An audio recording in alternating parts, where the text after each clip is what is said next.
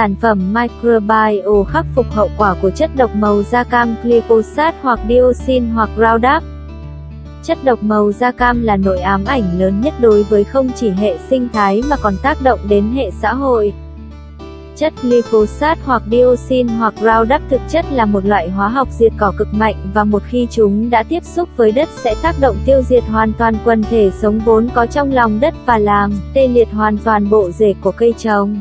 chất này không tan và mất rất nhiều năm để phân giải, đối với thực vật chúng sẽ làm tăng sự lây lan các bệnh của cây trồng như bệnh thối rễ, Fusarium, Phytophthora, Monosporapus, bệnh thán thư, bệnh héo rũ, và bệnh dỉ sắt. Khi sản phẩm được sử dụng để ức chế cỏ dại dưới gốc cây đồng thời cũng ức chế sự hấp thụ các chất dinh dưỡng cần thiết để chống bệnh tật. Kết quả không mong muốn là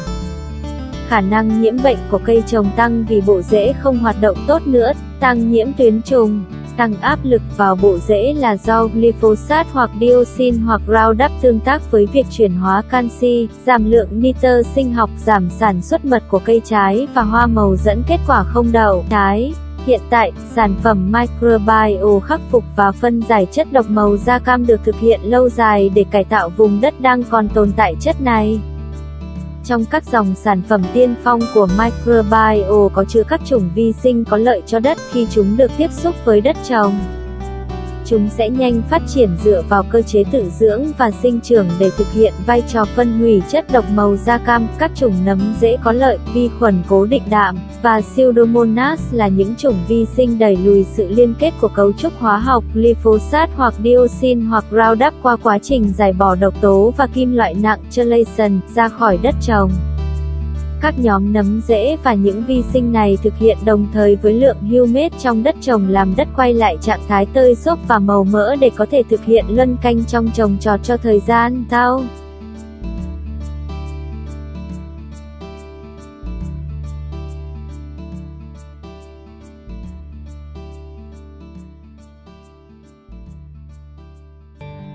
Tám điểm nổi bật của sản phẩm Microbiome Thứ nhất, cải tạo đất cân bằng độ pH,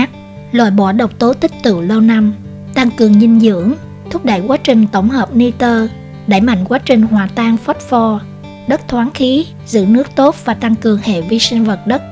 nâng cao khả năng huy động khoáng chất và dinh dưỡng cho cây trồng như muối, phosphor, magie và canxi, tăng cường sự hình thành nội tiết tố thực vật, giúp điều hòa sinh trưởng. Thứ hai, hoàn thiện bộ rễ, có thể tăng sinh khối bộ rễ hơn 600%, rễ to, chắc khỏe, lấy được thức ăn ở những nơi xa và sâu nhất, giúp rễ giữ nước, giữ chất dinh dưỡng, đẩy lùi sâu hại và bệnh hại. Thứ ba, với cây trồng, cải thiện sức nảy mầm của hạt, khả năng cạnh tranh mạnh, cây to, khỏe, khả năng hấp thụ dinh dưỡng tốt, hỗ trợ quá trình trao đổi chất ở cây trồng, tăng sức đề kháng, đẩy lùi sâu hại, bệnh hại. Thứ tư, tạo chất kết dính. Các chất này bao bọc vùng rễ, giúp tăng cường khả năng giữ nước, giữ chất dinh dưỡng, ổn định độ ẩm. Thứ năm, tiết kiệm nước, giúp cây trồng chống chịu thời tiết khắc nghiệt. Thứ sáu, tiêu diệt tiến trùng và nấm gây hại. Thứ bảy, chất lượng nông sản, giàu giá trị dinh dưỡng, quả to, thơm, ngon, tăng chỉ số RIS. Thứ tám, rút ngắn thời gian thu hoạch, tăng năng suất cây trồng và tăng lợi nhuận trên mỗi hecta. Có thể nói, 8 lợi ích mà microbiome mang đến giúp cây trồng có một bộ rễ to, chắc, khỏe, giúp lá xanh hơn, lớn hơn nhằm đẩy mạnh quá trình quang hợp ở cây trồng, giúp tăng quá trình ra hoa, đậu quả, quả to, thơm, ngon ngọt hơn. Microbiome đã có mặt trên thị trường thế giới nhiều năm và vẫn đang tiếp tục mở rộng. Microbiome đảm bảo 100% hữu cơ, không chứa thành phần biến đổi gen. Microbiome đã được chứng nhận bởi các cơ quan nhà nước cũng như các tổ chức uy tín tại Mỹ như OMRI, WSDA, CDFA. Microbiome an toàn cho người, động vật môi trường và nguồn nước.